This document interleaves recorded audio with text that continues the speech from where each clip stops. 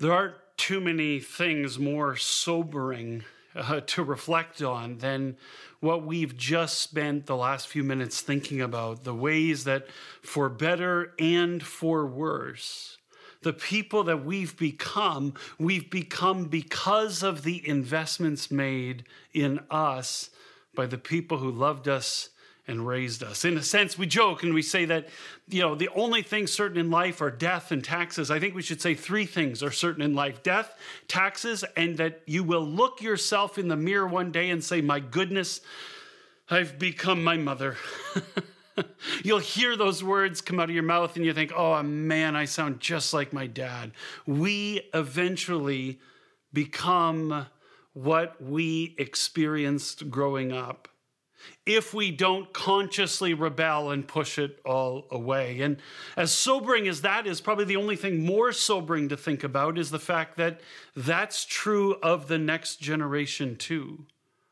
That the kids that we care about, as parents and caregivers and uncles and aunts and so on, those kids will become what we have invested in them the good, the bad, and the ugly.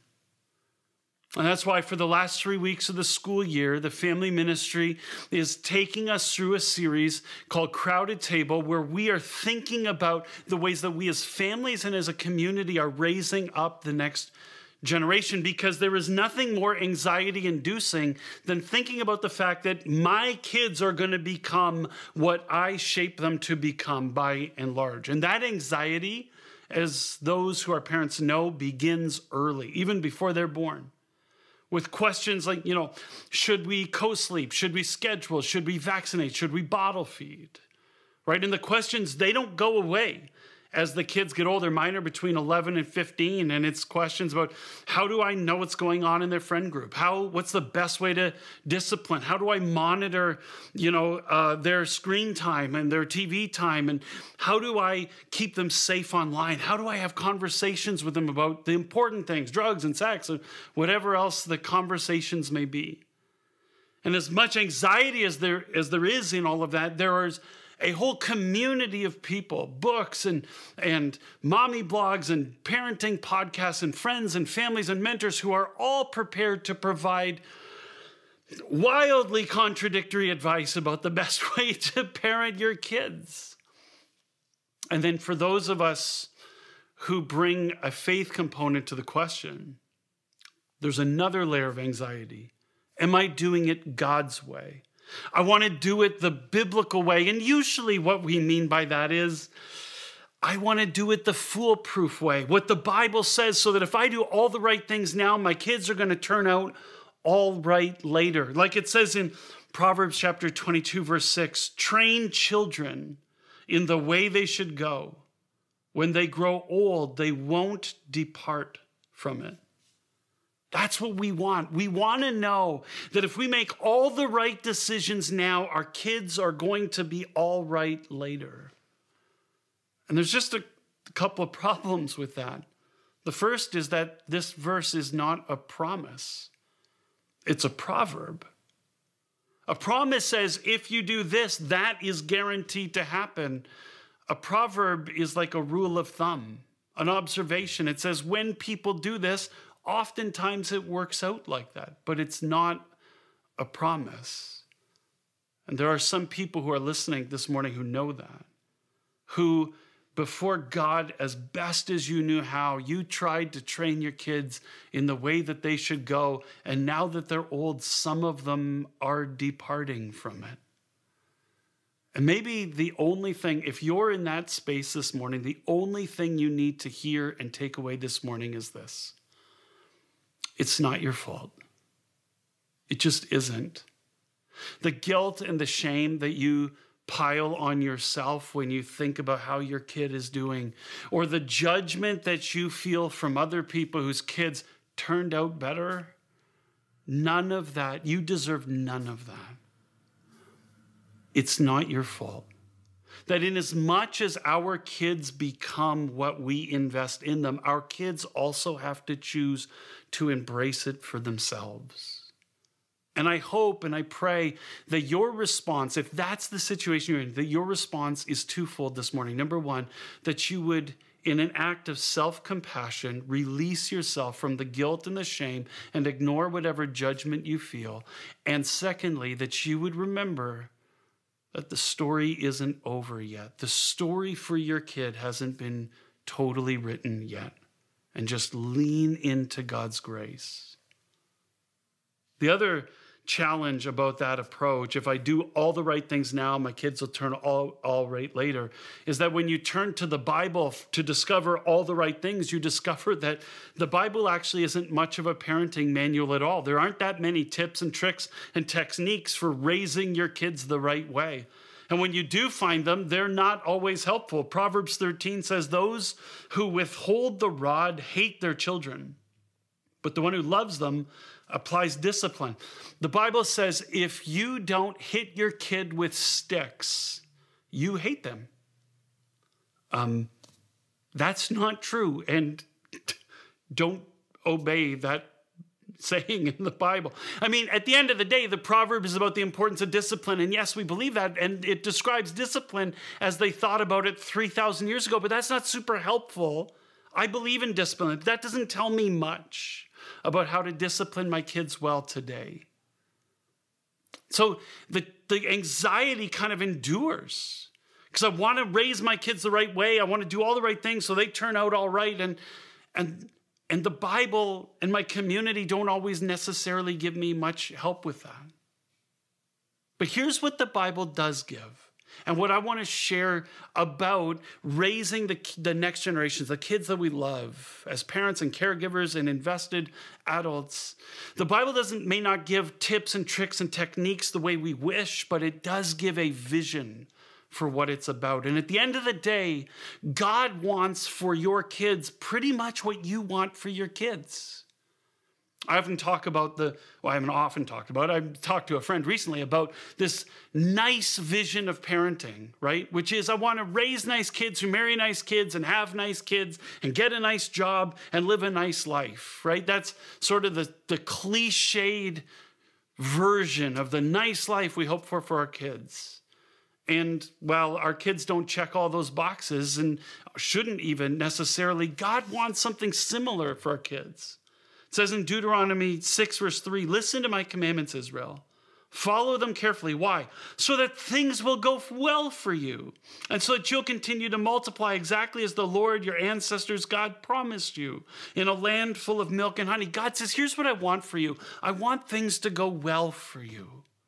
If you want a family, I want you to have a family. If you I want you to be a part of a growing community of vibrancy and faith, people who love God and love me. I want you to experience the fullness and the abundance that is available through Jesus. That's what I want for you. And that's what I want for your kids. And here's how God says it. He says, "Listen to my commandments so that Here's what it says the verse before. Here's how we experience God's blessing, put ourselves in a position to have things go well for us. It says, Fear the Lord your God by keeping all God's regulations and God's commandments that I'm commanding you today, both you and your sons and daughters, your kids, all the days of your life, so that it will lengthen your life. God says, Here's how it goes the best for you. Fear God and obey God's commandments. That's it. That's the heart of it. I should clarify when it says fear God, what God doesn't mean is be afraid of God. Be afraid of God's wrath. Be afraid of God's punishment. That if you screw up in the least, God is going to let you have it. Mm-mm. Uh, that kind of fear has no place in the gospel, in the Christian life. In the New Testament, it says that God is love, and anyone who lives in the love of God, that love drives out the fear of punishment. The fear of punishment has nothing to do with living in a relationship with God. What fear the Lord means is be overwhelmed by the goodness and greatness of God in such a way that you want to obey God every moment of your life. That's how you set yourself up to experience God's best and for your kids to experience God's best. And so, what is the commandment that we're supposed to obey and teach our kids to obey if we want them to experience God's best? Verse 5 tells us Love the Lord your God with all your heart, all your being, and all your strength. These words I'm commanding you today must always be on your minds. Moses says this God wants life to go well for you. God wants you to belong to a vibrant community of love and faith. God wants you to experience the fullness and abundance of life. And here's how to experience it by getting such a clear picture of the goodness and greatness of God that you want to give your whole life to loving God with everything you have and everything you are. It says, with all your heart. That's sort of the inner energy and intensity. It says every thought of every day, every moment of every day should be single mindedly focused on loving God as hard as you can.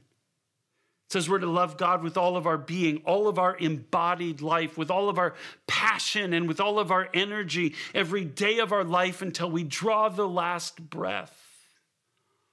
It says we're to love God with all of our strength. The word in Hebrew just means all of our muchness with all of the muchness that you have, all of the time you have, all of the money that you have, all of the positions and the possessions that you have, all of the influence that you have. Love God with your business, love God with your education, love God with your career, love God with your parenting, love God with the way you invest in the next generation, love God in the way you participate in the community of faith, love God with all the muchness that you have. Because if we, as parents and caregivers and adults who care about the next generation, if we pour ourselves into that, into loving God as hard as we can with all that we have and all that we are, our kids will catch that from us. There was a study done recently that said that one of the greatest predictors for a boy of their adulthood spirituality is how passionately their dad sang in church on a Sunday morning. Right? The whole point is that if a boy is going to grow up to be a man that passionately loves God, one of the greatest indicators of that likelihood is that they had a dad who passionately loved God in the way that he sang on Sunday mornings. It's not a guarantee, obviously. There are no guarantees, there are no recipes. But it gives your kid the chance to catch your passionate love for God. They will catch that from us much more than anything we teach. That their love for God that will set them up for things to go well for them and to experience community of vibrancy of faith and love, for them to experience the fullness and abundance of the life of God's blessing. They, their experience of the love of God that creates that hope for them is something they catch from us. Or they don't. I had a friend in university. His name's John Butt. And yes, it's Butt. And yes, he's heard all the jokes. And John didn't come to church a lot with me in university. And so finally I asked him one day, I said, Why do you never come? And he hummed and hawed for a long time. And finally he said to me very poignantly, well, he said, growing up, my dad didn't seem to need the church, so I guess I don't think I need it either. And that's the point. To set your kids up for the best life they can experience. We need to invite them into a love into a life of loving God as hard as they can with all that they are and all that they have and the best way for us to invite them into that is for them to catch it from us. Now, it's not something that's just caught, it is taught. It goes on in Deuteronomy to say, recite these things to your children. Talk about them when you're sitting down around your house and when you get are up and out, out and about. When you're lying down and when you're getting up, tie them on your hand as a sign. They should be on your forehead as a symbol. The, the writer of Deuteronomy says this isn't something that the kids just see, it's something that they you talk to them about, recite to them what the scriptures say about a life of loving God and loving people. Recite the commandments, recite the stories. Notice that it says recite. In order to talk to your kids about it, you need to know about it too. Pour your life into the scriptures so that you can share them with your kids. Tell your kids your stories of obeying God and who you became, and, or when you disobeyed God and what had happened after that. It's something we talk about proactively all the time, but it's something we talk about reactively too. Krista and I, we don't shelter our kids. That's just a choice that we've made. We introduce them to things in age appropriate ways, but we let them experience what's out in the world because we've committed to debriefing everything with them asking, What did you hear on Sunday? What did you hear at Riot? What did you hear in Current? What did you hear from your friends? What did you hear at your friend's house? What did you hear at school? What did you hear online? What did you hear on TV? We talk to them all the time about what we're they're experiencing so that we can teach them how to live a life biblically in the world in which they live. Teach them how to love God and to love people in all of those circumstances and in response to everything they've seen. We do it proactively, we do it reactively. I think we need to do it creatively. The text says tie it on your wrist or on your forehead. Right? If I if I put something on my forehead, if I put on a Dallas Cowboys cap, that's not to remind me that I'm a Cowboys fan. I know I'm a Cowboys fan. It's to let everybody else know where my allegiances are. And I think we got to be doing that with our kids. We got to be letting them think of creating way, creative ways to let them see our love for God.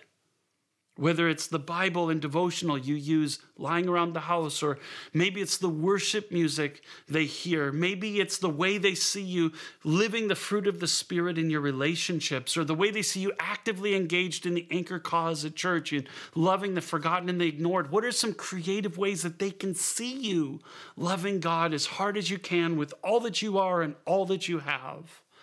Because if we're going to set up our kids for success, that's what it's going to be. It's going to be in as much as they catch and are taught from us how to love God as hard as they can with all that they are and all that they have. That's the biblical vision for what it means to be a parent, a caregiver, someone who's investing in the life of the next generation. And friends, honestly, that's not something we can do on our own. It is just isn't. We live with this myth that the primary unit for raising up kids is a nuclear family of between two and five people. And that's an idea that was invented 75 years ago for most of human history and for most of humanity around the world today, they don't live in nuclear families. They live in clans of 20 or 30 people who teach morals and preserve traditions and pass on values and protect the community from hardship and support in the midst of calamity. They, ra- they raise their kids in community, which is why I love this next last verse in Deuteronomy 6 9 it says, Write these things on your house's door frames and on your city gates.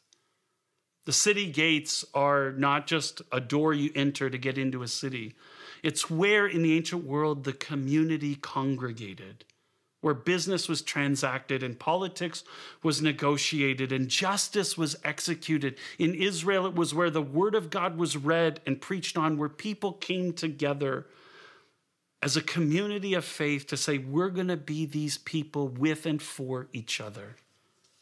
And friends, you need that. I need that in my parenting.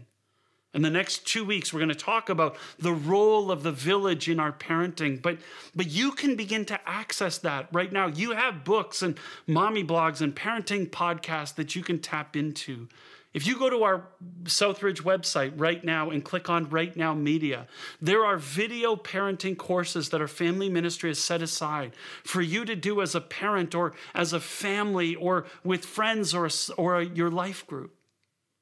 Tap into relationships with your friends who are going through it with you, with family who's gone before you, with mentors that you respect. Tap someone on the shoulder and say, I love your parenting. Can I pick your brain? I love how your kids turned out. Can you help me invest in mine? Like, draw the community in. But, friends, at the end of the day, the biblical vision for parenting is not complicated. We set our kids up for success, to live in God's blessing, to have things go well for them, and for them to experience the fullness and abundance of life, inasmuch as much as they are able to have caught and be taught from us what it looks like to love God as hard as you can with all that you are and all that you have. That's it. That we're invited to love God into the next generation. And so I wonder what it would look like for us to revisit that exercise we did before the sermon, but to do it as we reflect on the ways that we're investing in the next generation as parents and caregivers, uncles and aunts, people who just love the next generation of kids. I wonder what it would be like to take some time this week and to spend some time reflecting on the ways that you are grateful for how you have been trying to love God into the next generation already, whether by instinct, by modeling, by teaching, by the prompting of the Holy Spirit. Where do you already see God's love, a love for God and God's love flowing through your parenting? And just celebrate that. And then to do the harder work of saying, where could my kids catch and be taught more of what it looks like to love God and love people in my life? Where do I need Jesus to shape me more by the Holy Spirit in that? And promise me this if you do this exercise, don't let it be this moment of heaping more guilt and shame on you, of raking yourself over the coals because you're the world's worst parent. We all think that about ourselves all the time, and it's not true. Do this in the presence of a God of grace who both loves you and forgives you for the ways that you've messed up, who is changing you and transforming you to love God, to love your kids, and to love people better every single day, and whose grace hovers over all that we do as parents. Come into the presence of a gracious, compassionate God and invite the Spirit to show you what it looks like to love God into those next generations of kids. Because that's what we've been invited to God to do to love God as hard as we can, to love our kids as hard as we can, and then to pray as hard as we can. Let me pray for us as families and as generations this morning. Heavenly Father, who's the Father of us all. Heavenly Father, who is a Father of compassion and grace, whose Son, Jesus Christ, was the child of Mary and grew up in a family and knows what families are like, whose Son, Jesus Christ, died on the cross to draw the whole human family to himself in forgiveness and transformation and grace. Would you strengthen us for our daily life together? In all of our joys and in all of our sorrows, let us experience the power of your presence. Bind us together and heal us, we pray, through Jesus Christ our Lord. Amen.